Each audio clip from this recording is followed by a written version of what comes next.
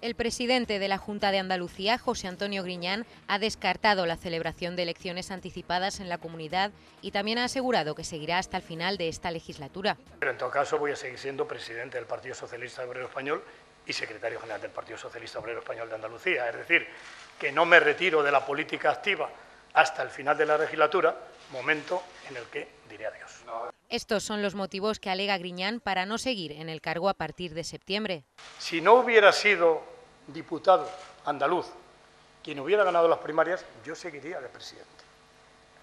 Lo hago porque quien ha ganado las primarias está capacitado institucional y políticamente para ser presidenta de la Junta de Andalucía. Tendremos una presidencia plenamente legitimada, con experiencia, con capacidad, con conocimiento y además mujer. En cambio, hay otros a los que no les sorprende esta decisión, exigen un adelanto electoral cuanto antes y presentan unos motivos bastante diferentes. El problema es lo que ha hecho hoy el señor Griñán, que es salir corriendo 24 horas antes de que declare el interventor de la Junta de Andalucía. No sabíamos si era 24 horas antes que declarara el interventor o 24 horas después, pero que se iba, lo sabíamos.